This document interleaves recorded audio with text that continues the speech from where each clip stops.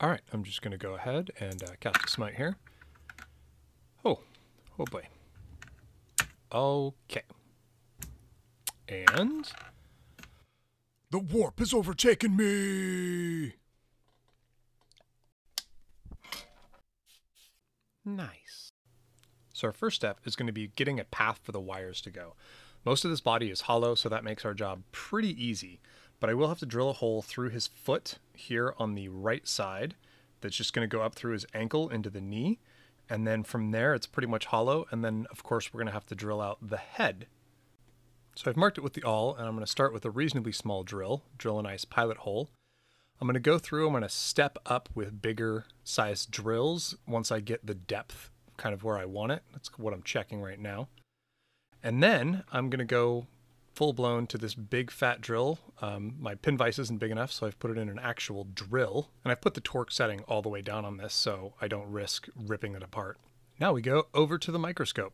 So these eyes need to come out. The light is not going to shine through them very well. So I've marked them here with the awl, and now I'm taking a drill in the pin vise here. Now this drill is about 0.5 millimeters thick. It is not a big drill by any means. So I go real slow and be real careful that I don't snap this drill bit. And now that we have holes for both of the eyes, we're gonna make them more, well, eye-shaped. I'm gonna come with the X-Acto knife here and I'm just gonna widen these out to kind of make them the shape that I want them to be. I'm gonna go real slow, real careful. And once I actually have the shape kind of cut out and uh, I've kind of trimmed the inside of it, I'm just going to put a blue LED in here to just give it a test, make sure that it looks the way I want it to. And once that's done, I'm actually going to come in with some Tamiya super thin plastic glue and just paint it over the top. This is going to kind of smooth out any of the rough edges that are left from all of the scraping and filing and drilling I've done. So I'm going to go ahead and solder up a 2835 white LED. If you need to know more information on LEDs and soldering, I have videos on both of those you can check out here. And now the LED is all ready to go. So we need to glue this into the head. Now I'm going to use epoxy resin. This is a two ton, so it'll give me a little extra working time. I'm going to get out just a penny sleeve to mix it on, toothpick to mix it with. This is some pigment that I'm going to use. This is resin pigment. Do not use paint to pigment your resin. It'll end poorly. Water and resin do not mix well. And this is actually the reason that I went with a white LED. The white LED coming through the blue will look more blue the duller it is. So when you actually press the button, it'll bleed out more and look more white. So you actually get a more color variation, and I really like that. I also want to point out that this is actually opaque pigment. You can get translucent pigment, but I'm using opaque because it's going to diffuse the light more and give a more even spread across the LED. So now I'm just going to put some of this in the hole where the LED is going to go. Some of this is absolutely going to ooze out where the eyes are. We're going to deal with that a little bit later. You don't want to have a lot ooze out from the eyes, but it's kind of unavoidable. So use best judgment here and try to make sure that you're not creating too much work for yourself later. But also, you do want the eyes to have some of that resin there so it will diffuse the light and make it look good. And that'll bring us back to the microscope. Here you can see that the resin absolutely did overflow out of the eyes, totally expected. So what I'm actually going to do is I'm going to come in with an X-Acto knife and chip away at this stuff. It actually doesn't adhere very well to the plastic, especially because we smoothed it with the Tamiya extra thin plastic glue. So I'm just going to kind of cut around the eyes, leave the eyes intact, and make sure that I have a relief for the resin that I want to stay there so I can chip away to that relief cut.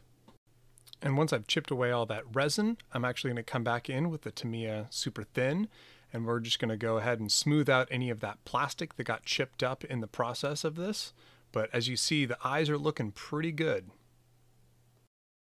And that'll bring us to the base. So I'm just going to go ahead and solder a little tiny switch on here, just using some solder paste. So this switch is soldered one side to the pad, and I'll solder the other side to the actual wire. And that brings us to the V block or the bench block. I'm going to use a piercing saw or jeweler saw, depending on where you're from.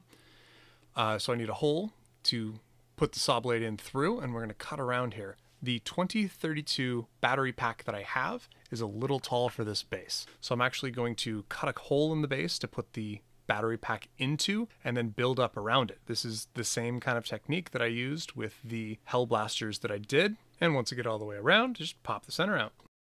Resistors. This is a 470 ohm and a 68 ohm resistor.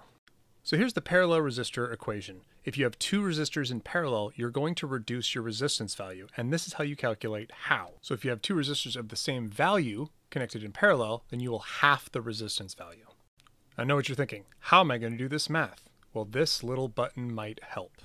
So after I get that sum, I'm going to hit that button one more time, and that's going to give me 59.4. 50 is the minimum resistance that I've calculated that I want for this LED, so that'll work perfect. So with these tactile switches, the legs in line with each other actually have a hard connection. The legs across from that line will be connected when the button is pressed. So I've hooked up the 470 ohm resistor in line, so that will always be connected when this is on. And then I've hooked up the 68 ohm resistor on the other leg. So when I press the button, we will get 59.4 ohms across it because of the parallel resistors. So I have the positive lead soldered to the on-off switch, and the tactile switch is soldered to the negative side of this. So we're going to put an LED on here, make sure everything works before we go any further. And it looks like that's working just fine. So now it's time to get this into the base. So I've got some plastic card here. I've built up with little pieces of plastic card around the edge, and I'm just going to put a nice thin piece of plastic card over top here. And then I'm going to put some epoxy resin just in the center of the battery holder to glue that in place. You could use super glue here, but the issue with super glue is it might fog and the fogging of the super glue will block your electronic connections. And I'd really prefer that the button and switch continue working. So once I've got all the epoxy on there, I'm going to clamp these together with just some spring clamps here. Let that dry completely and then keep working on building this base up. So now it's time to put this guy together. I've already painted the head because I'm doing a camo pattern and I wanted to get that out of the way before I glued him into that psychic hood. So I'm going to run these wires down, put a little bit of Tamiya extra thin here to glue that on. I'm going to have to avoid painting the rest of these little camo bits, which is going to be fun later. But once I have the head on, I'm going to run this down, put the second half of the body on, and then run it out that leg. I'm going to leave the arms and shoulders off so I can finish the camo pattern easier. Now that the body's all together, I'm going to run the wires out through the base and glue him on top of it. I'm actually, after this, going to solder these wires on. If you need more information on soldering, I have a whole video on that that you can watch that I'll link right here. That brings us to painting. I'm just putting some finishing touches on here and there. As you can see, the camo pattern's all laid down and he's fully assembled at this point. I didn't do anything special for the eyes, and here's why. I'm actually going to come in and remove all of the paint that I painted over the eyes. Painting around the eyes, especially when it comes to airbrushing and priming, just seemed like the harder way to do this. So I'm actually going to come in and scrape away all of the paint that's on the eyes that I don't want to be there. And once I get the shape of the eyes kind of cut in and scraped away, I'm actually going to come in with a brush and brush away all of the little chips to see my work, see what I've done at this point. And then once that's done, I'm just going to dim the lights a bit here and turn it on so I can actually see the lights coming through. And now I can see if the light's actually shining through the way I want it to and do any touch-ups, like, I don't know, maybe a little bit of painting. I would suggest if you use magnification of this strength to give yourself a lot of leeway when it comes to your mistakes in painting. So I just have to do this twice more, and here it is done. All three of my librarians have LEDs in their head. The ones with the helmets had one extra hole for the little light at the top. The same LEDs were used for all of these, so this is just running on one fat LED that's going to light up the whole head. Hopefully you've learned something, and hopefully this inspires you to do your own LEDs and your own miniatures. I have a separate video on LEDs just as basics and soldering, so like, subscribe, and thanks for watching.